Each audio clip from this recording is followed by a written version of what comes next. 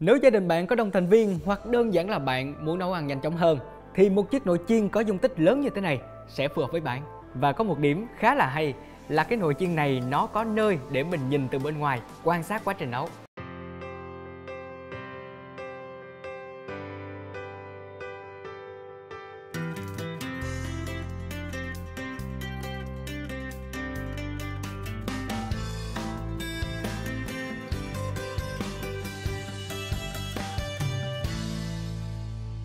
Xin chào mọi người, ngay bên cạnh mình đây là một chiếc nồi chiên không dầu của Senhao. Đây là một thương hiệu quen thuộc của nước mình.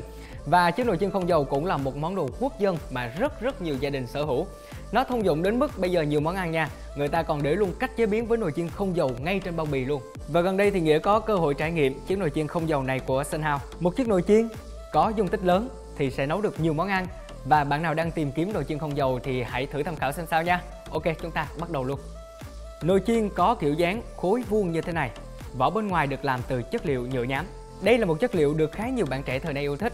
Tuy nhiên với những dạng nồi có kiểu khối vuông như thế này, khi mà chúng ta nhìn vào á thì chúng ta dễ cảm giác là nó sẽ hơi nặng nề và cồng kềnh. Nhưng thực ra nó cũng không có nặng lắm đâu. Ví dụ như chị em dùng ở nhà cũng có thể thoải mái tự do mà di chuyển nó. Đồng thời bên dưới nó còn có vị trí cho mình đặt tay để tiền bưng bê khi cần nữa.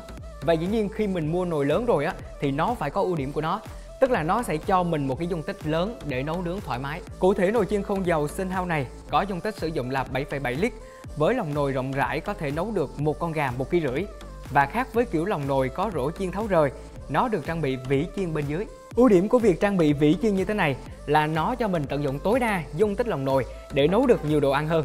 Vì như mọi người thấy thì ít nhiều rổ chiên nó cũng chừa lại khoảng trống vài cm rồi. Khi vệ sinh thì cũng dễ dàng luôn. Chúng ta chỉ cần tháo rời nó ra sau đó các bạn vệ sinh cái vỉ chiên và cái lòng nội phía bên trong này. Trường hợp nếu như mà dính dầu mỡ cứng đầu á thì chúng ta sẽ ngâm với nước nóng trước rồi chúng ta rửa sau.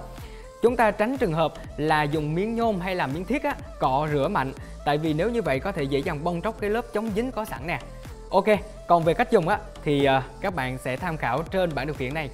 Phải có nguồn điện thì bảng điều khiển mới hiển thị lên. Và bảng điều khiển này là bảng điều khiển cảm ứng với 8 chương trình cài đặt sẵn thì 8 chương trình được cài đặt sẵn này nè nó sẽ gợi ý về thời gian và nhiệt độ phù hợp với nguyên liệu cụ thể để giúp cho những bạn mà chưa có nhiều kinh nghiệm nấu nướng có thể nương vào đó để nấu. Rồi dần dần các bạn có kinh nghiệm rồi thì các bạn lại tự điều chỉnh thời gian nhiệt độ theo ý của các bạn. Cụ thể thì ở đây mình có thể điều chỉnh nhiệt độ từ 80 đến 200 độ C và thời gian tối đa 60 phút nhưng riêng chương trình sấy sẽ hơi khác một chút. Chương trình này dùng để chế biến các món sấy như là sấy hoa quả, sấy khô gà lá chanh các kiểu đồ đó mọi người và các món đó thì cần phải có một mức nhiệt nhỏ cộng với thời gian sấy phải lâu cho nên là các thông số nó sẽ có hơi khác biệt chút.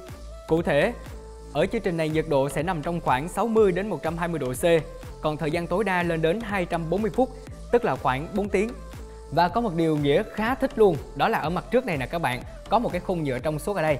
Và bên trong khoang lò có một cái đèn hỗ trợ ánh sáng để chúng ta nhìn từ bên ngoài vào có thể thấy được đồ ăn bên trong đang được chế biến như thế nào mà không cần phải mở cái nồi ra. Tại vì việc đóng mở nhiều lần, thứ nhất là sẽ gây thất thoát nhiệt ở bên trong và phải tốn thời gian gia nhiệt lại gây hao điện thêm.